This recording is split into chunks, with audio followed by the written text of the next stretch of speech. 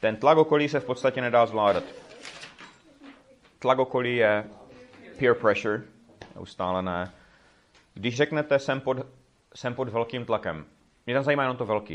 I'm under a lot of. Přesně tak, ono je to vlastně jiné než v češtině. Uh, my často říkáme I'm under big pressure nebo huge pressure. Ne, oni tam používají a lot of většinou. I'm under, I'm under a lot of pressure. Uh, kdybyste se ještě bavili o tom, že chcete držet krok s okolím, tak držet krok s někým je keep up with. A kdybyste vysloveně chtěli, eh, angličtina má takovou frázi, trošku to šustí slovníkem, ale že vaši sousedi mají něco a vy s nimi chcete držet krok.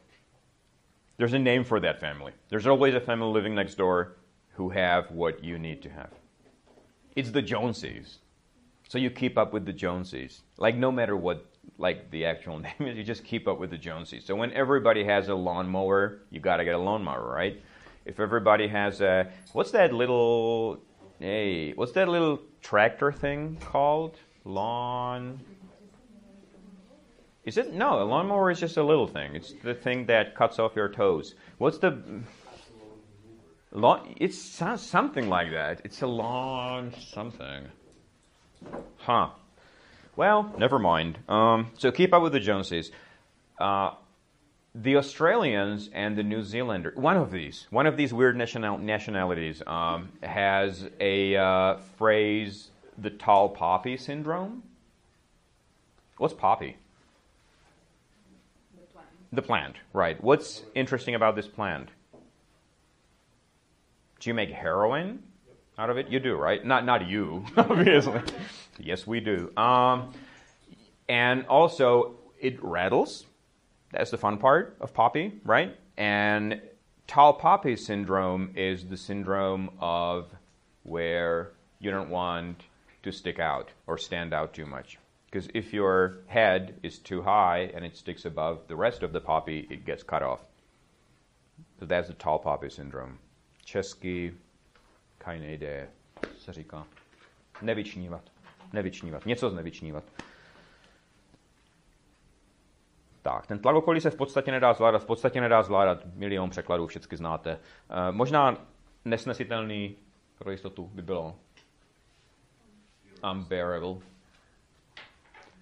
Jak se řekne nes, mučivá bolest, nesnesitelná bolest, latina, ex na začátku, excruciating. A úplně nejlepší tvar je excruciatingly. Ještě z toho dějete příslovce a pak řeknete, hey, come on in. He, is, he was excruciatingly honest. I don't know what that is, but sounds good. Druhá věta. Nemějte jim to za zlé, oni se to taky vyčítají. Nemějte jim to za zlé. Don't Mom, don't blame them by šlo. Hold it against them. Je nejlepší. Don't hold it against them.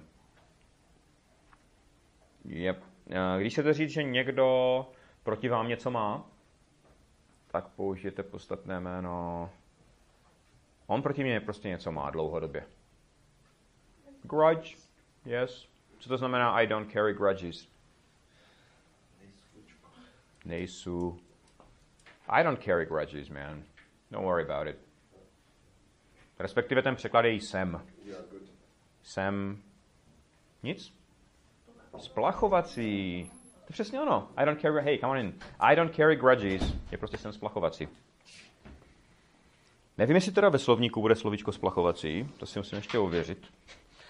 Nemusíme, není to tam. Uh, jak ještě jinak řeknete, ona, třeba učitelka, si na mě zasedla.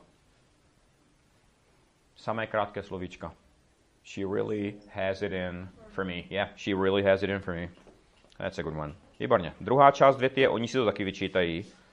To vyčítání by mohlo být. Feel guilty je v pohodě. Feel guilty je úplná jistota v tomhle. Všechny výčitky svědomí a tak se dají překládat pomocí feel guilty.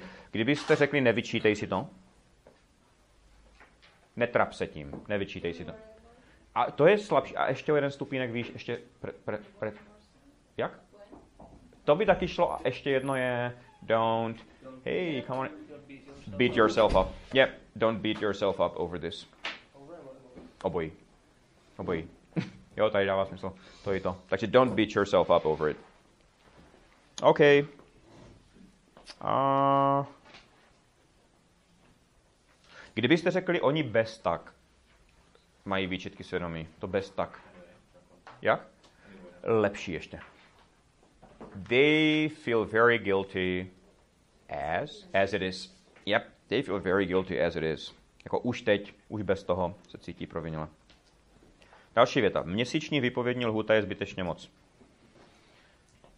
Uh, já jsem se to možná mohl podívat doma, jak se tam měsíční vypovědní lhuta řekne. Ta vypovědní lhuta je notice. Ale jestli je předtím months přivlastňovací, jo? Jo, to zní nejlíp asi. Takže a month's notice is a nebo jedním slovem overkill. Yeah. Overkill, nepočítatelné, bez členů. It's overkill.